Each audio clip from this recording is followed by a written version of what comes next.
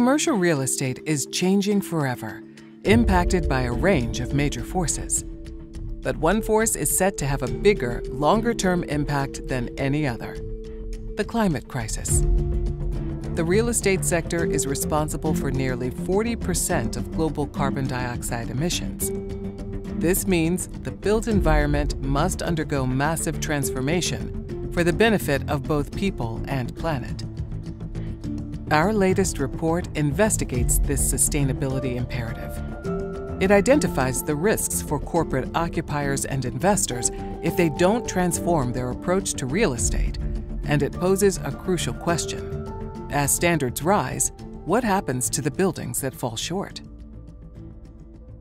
The report maps some major shifts in the market, revealing that sustainability factors are now critical to business leaders when they make property rental decisions.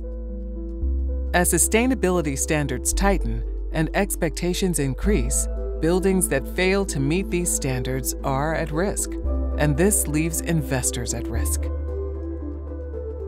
Real estate investors recognize this sustainability imperative but they tell us that taking swift action is challenging. This is leading to a worrying disconnect in the market as the supply of sustainable commercial real estate fails to keep up with demand. So, how can investment in sustainable buildings be scaled up?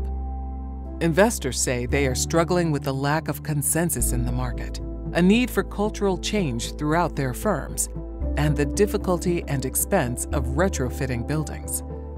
But we have also uncovered some ways to accelerate investment and bridge the gap. As sustainability continues to shape the real estate landscape, we are advising clients on green leasing, funding sources, and the prop tech innovations that are making buildings more efficient.